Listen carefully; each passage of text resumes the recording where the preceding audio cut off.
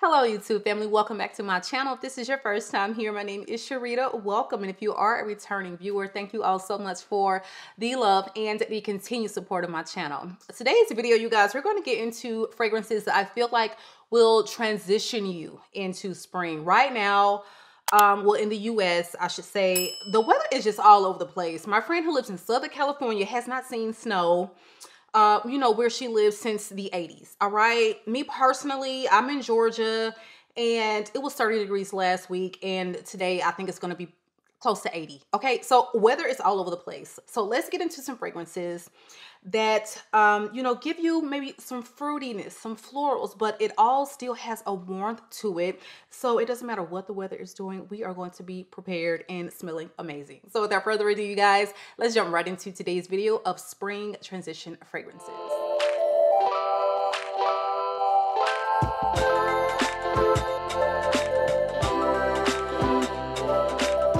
guys. So the first fragrance on this list is going to be a white floral fragrance. So this is without a doubt for my white floral girls, but when I tell you, this fragrance is so classy yet sexy. I mean, it is chic. It is it is stunning. All right, and I'm talking about this beauty right here from the house of Le Orchestre Parfum, and this is Bouquet Encore. This had been on my radar for so long. Um, a couple of my subscribers, actually some of my followers on Instagram as well, told me that I should get my nose on this fragrance. And wow, love at first sniff for me, okay? So this is a tuberose jasmine fragrance. However,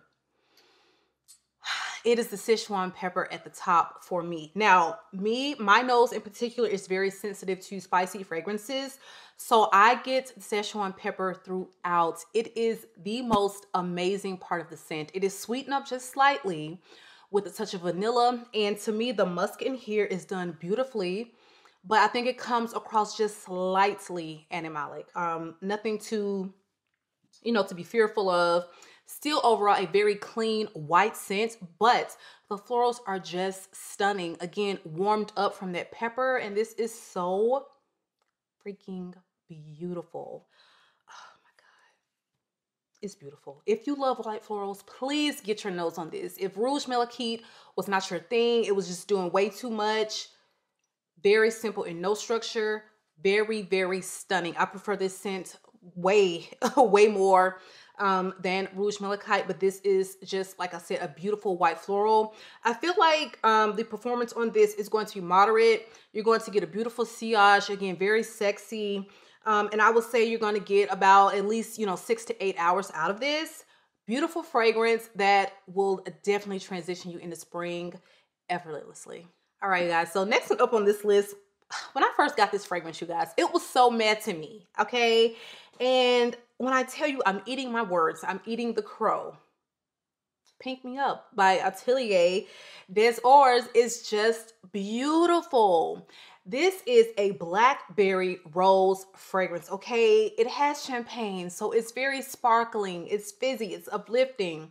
Just a very happy, sweet, fruity scent um, that I feel like has grown so much on me. I love layering it with all my other rose fragrances um, because rose champagne. I mean, just absolutely beautiful. Well, in this fragrance, you do have um, some bergamot at the top and it's paired with an orange blossom. But in the mid, that is when you get to the magic. It is blackberry, like I said, champagne rose. And you do get some powderiness in the base because it is balanced off with a little bit of iris, a little bit of patchouli, which you can pick up on slightly. I would say this will put you in the mindset of something like a trap rep. So if you like a scent like that, I think you would love this. Um, again, that one to me is like this very happy, effervescent, uh, fizzy rose fragrance. But this one, it's a little bit more sweet. The blackberry is quite syrupy and it is beautiful for this time of year. Now, some people may want to put this in the category of a spring scent, but for me, I wore this throughout the winter. I mean, clearly, as you can see where the dent is, and we haven't even got to spring. Again, sweetens up so much on my skin. It's it's just it's a stunner. It's very easy to wear. So if you're newer to niche fragrances, this one is definitely one you should get your nose on. Um, I feel like the performance on this it's quite nice. I mean, I still smell it on my clothes at the end of a long day on my skin. I would say you're going to get six to eight hours. Um, moderate wearing, but beautiful, beautiful fruity floral fragrance. Again, that is Pink Me Up by Atelier des Ors. All right, you guys. So next up on the list is going to be from the House of Oud. And yes, this is Ruby Red. Do not sleep on this fragrance, you guys. I'm telling you. I wore this yesterday. It's my scent of the day and I was at the end of my workday. Okay, so this is I would say nine hours after I put it on um, because this is like an off-duty job, not my normal 12-hour shift. Very end of the day, another officer is coming in to relieve me, and as I'm leaving, she was like, "What are you wearing today? That smells really nice." And I was kind of, I was like, "Dang, like you can still smell me." Um, yeah, I had to tell a Ruby Red beautiful fragrance. You're going to smell like these beautiful creamy florals with candy ginger. That is the vibe that you get from this. So it is warm and spicy, but there is just something very feminine, creamy, and um, a little uplifted about it. It's not a warm spicy that is dark or heavy or anything like that. This one actually is going to be a fragrance you can wear all year it wears beautifully in the winter. And this one is also going to be a stunner for spring for me anyway, um, because it's sweet. Like I said, creamy because it's got some ylang ylang in there. And the ginger is in the top, the mid, and the bottom. So you have a fresh ginger up top, I think. In the mid, you have a gorgeous ginger flower.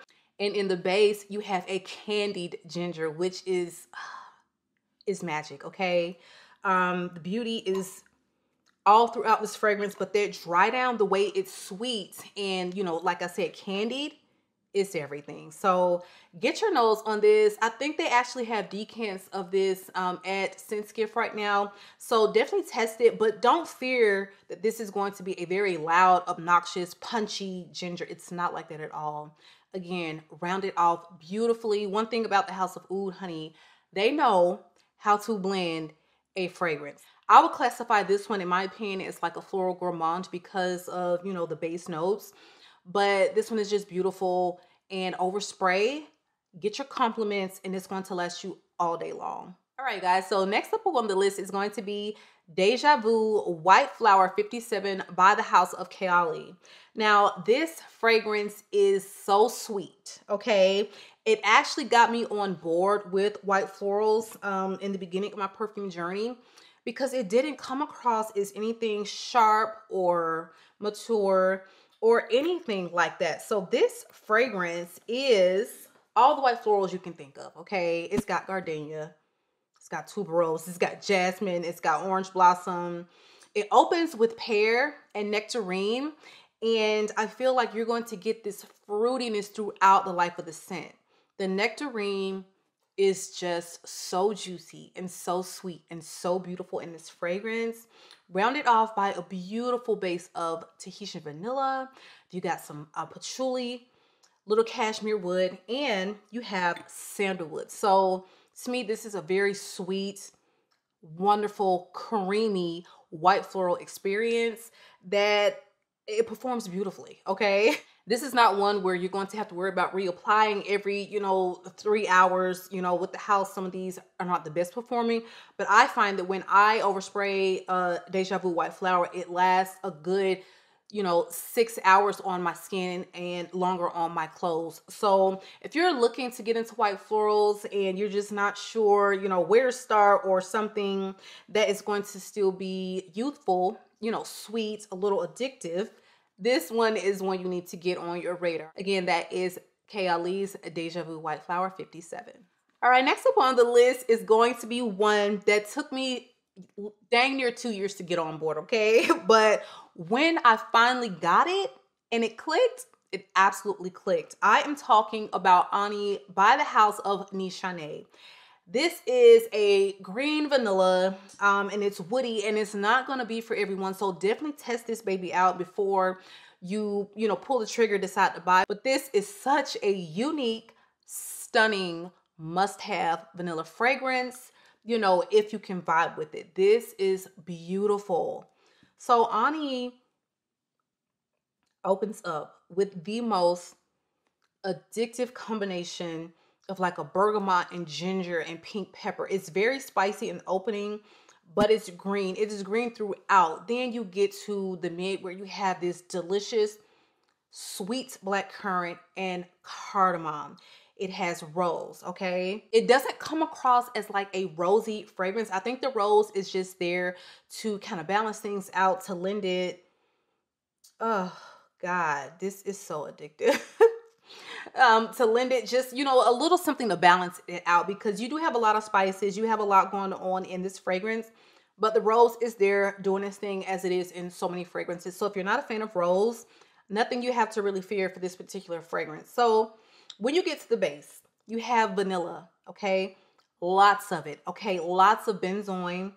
You have woods of cedar, sandalwood, and you have a very addictive ambergris. And I think, honey, between all these delicious spices, um, that vanilla and the ambergris, it is a recipe for intoxication. This to me, when I smell this, it is just one of those that you you kind of close your eyes and you your or your eyes roll to the back of your head. One or the other. Okay, I cannot just smell this and feel ho hum about it. This is this is everything but a meh fragrance. Again, not for everyone, but get your nose on it. If you've never smelled it, try this on skin and you need a sizable decant. Okay.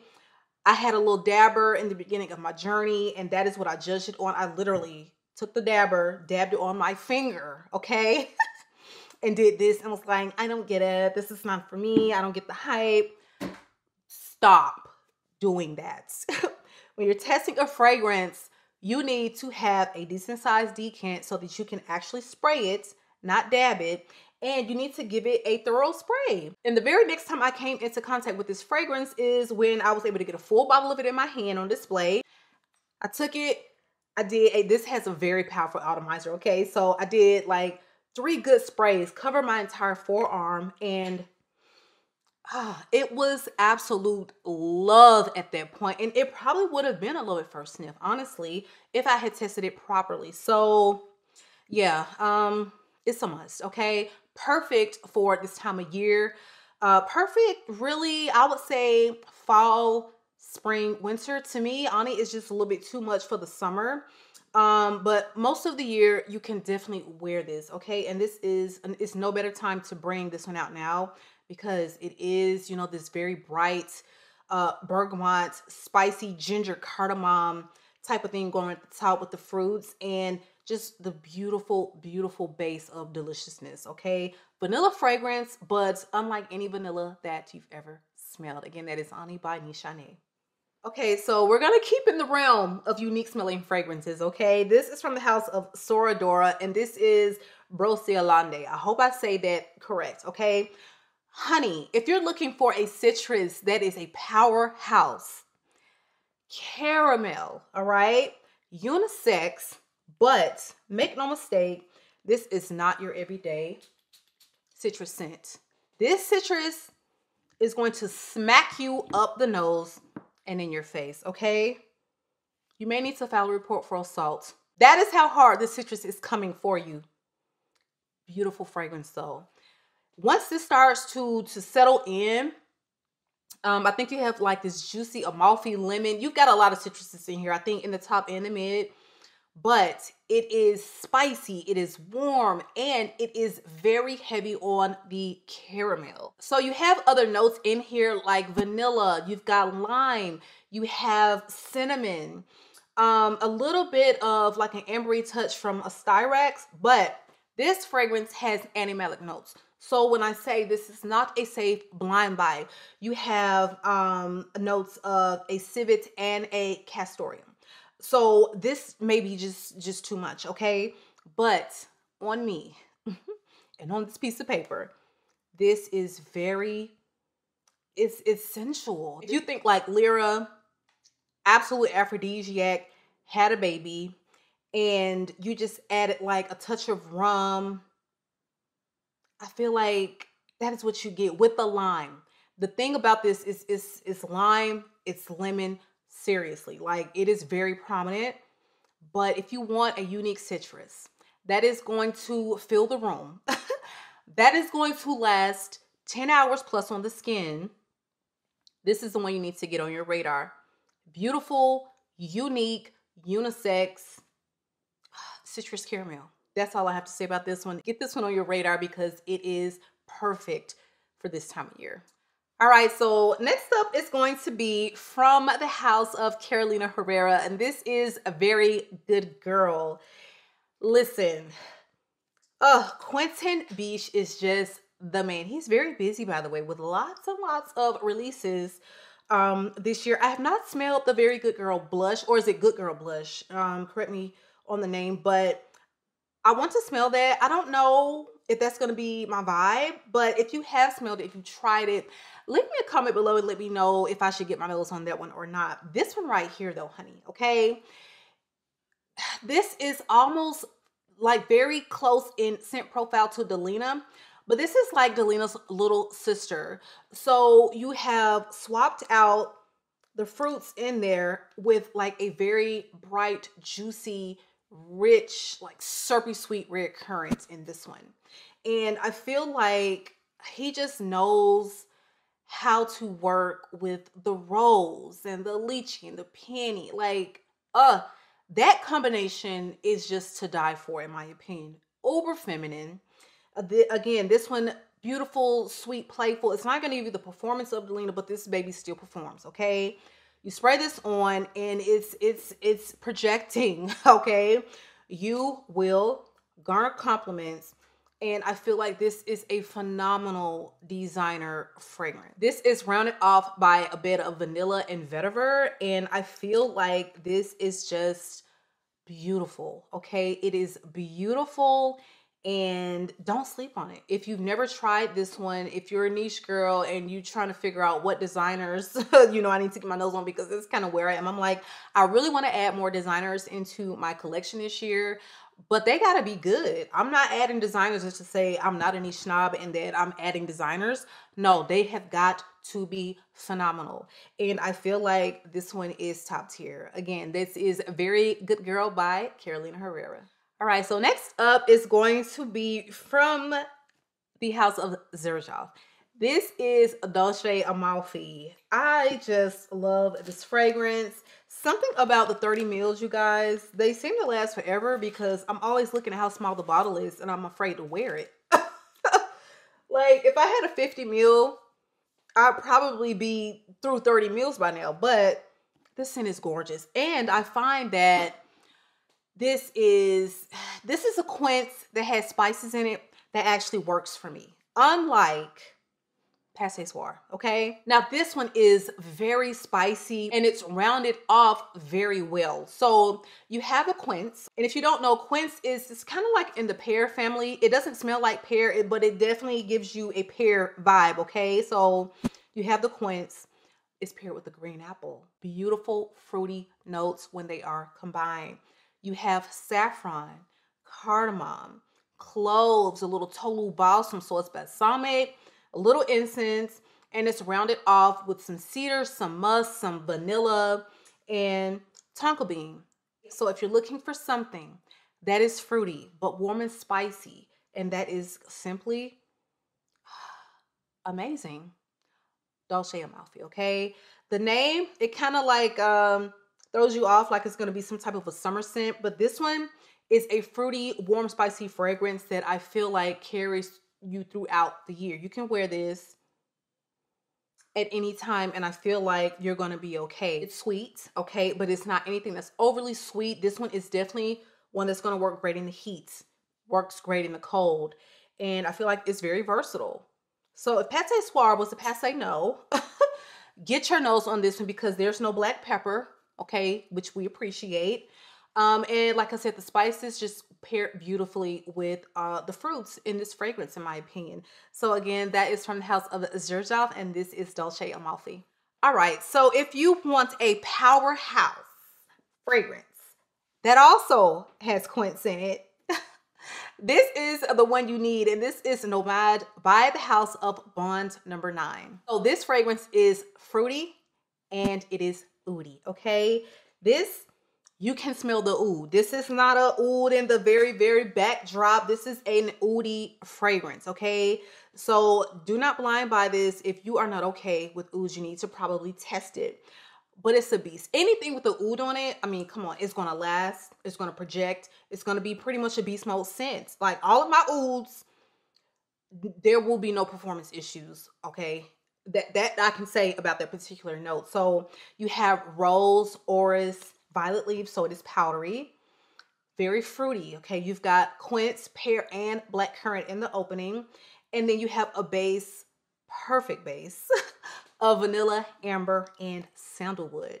So this is just one that I highly recommend you get your nose on if you want to smell unique, if you want to smell fruity, delicious, oody, which is going to make you, you know, smell like money and have class and sophistication.